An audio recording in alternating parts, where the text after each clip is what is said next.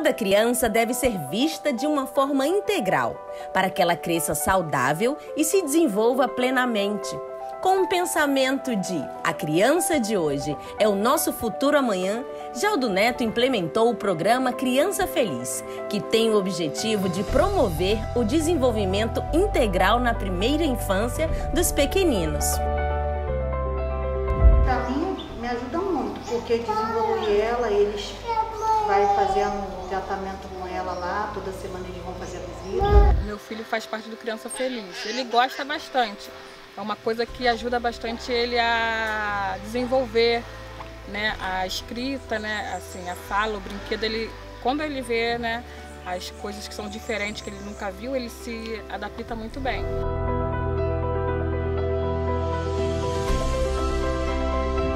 É, eles vão em casa, fazem atividade com ela, assim, com brinquedos, com desenho, vão conversar.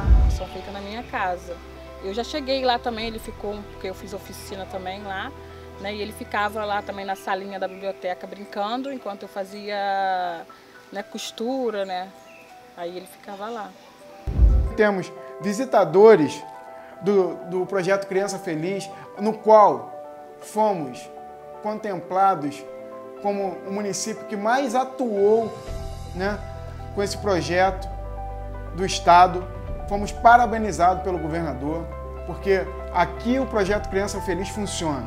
Os visitadores vão na sua casa, atendem suas crianças, né? Todas as vezes levam aquilo que você precisa.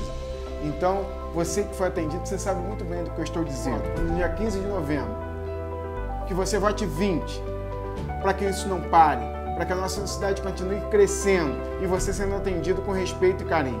Muito obrigado, fique com Deus e vamos até o dia 15 de novembro. Quem fez e sabe como fazer, vai fazer muito mais por Engenheiro Paulo de Fronteira.